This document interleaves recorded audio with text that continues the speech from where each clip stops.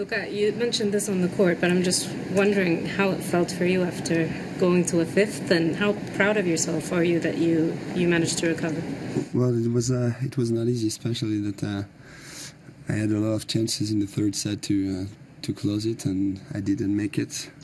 And I think uh, I can blame myself, but uh, I'm very yeah very happy to finally find my mind back after the the loss of those uh, four sets and get out of the court, put a new T-shirt on, and start again, start a, a new a new match. And uh, and I think I did it great. I'm I'm very happy with this.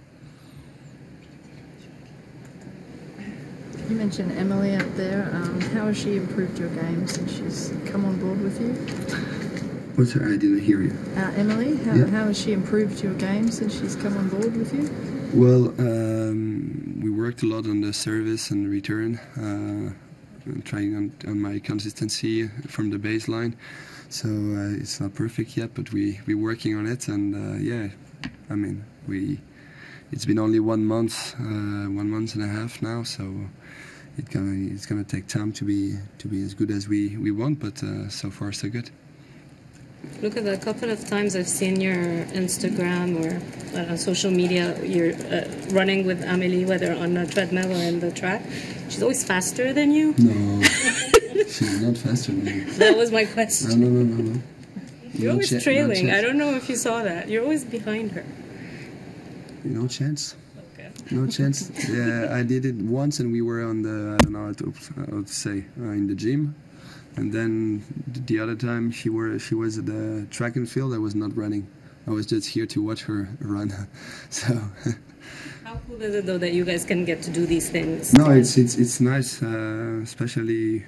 We had to get each other to know each other because we, we didn't before starting. So it's we were yeah in Dubai in Paris all the time together, eating together, trying to to know uh, yeah as I said to know each other and to do some stuff with the coaches. It's always nice. So it's fun.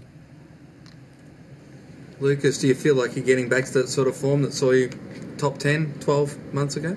Well, we'll see. We'll see. Uh, I, I can say that if I say yes, and uh, in the next few months I don't win a match, then it doesn't make sense. It's it's about consistency. I need to be consistent uh, all the all the year. If I want to come back in the top ten, I went.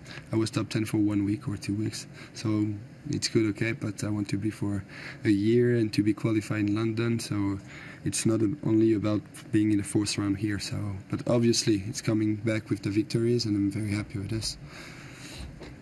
Look, apologies if you've spoken about this in French press, but I haven't seen you in a while. So, the, in Dubai last year, you had made like three finals in four weeks or something. And then things kind of didn't go your way. I'm just wondering, do you know, now that you've had time to reflect on the whole season, do you know what happened? Yeah, I know. I know what happened. Uh, Why it happened, I guess?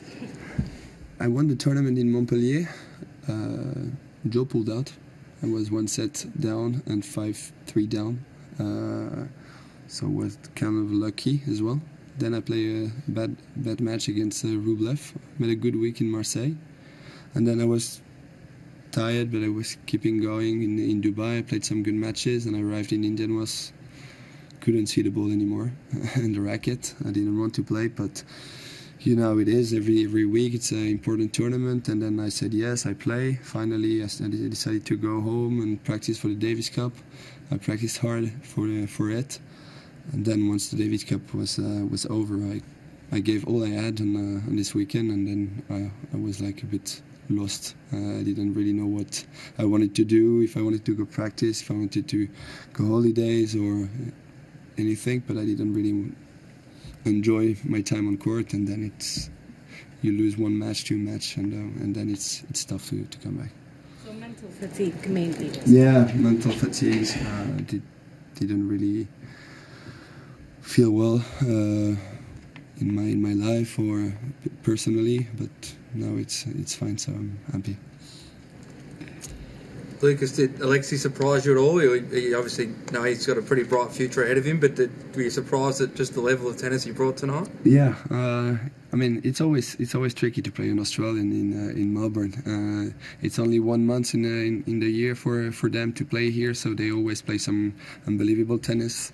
But he He has a huge, huge serve and huge forehand, and he's going for it most of the time. So it's it's not easy. You have to to stay focused every single point, try to to make him play. And but yeah, uh, I think he's playing yeah, some really great tennis, and I'm sure he's gonna break the top 100 and top 50 very, very, very soon. All right. Thank you very much. Thanks. Um, we'll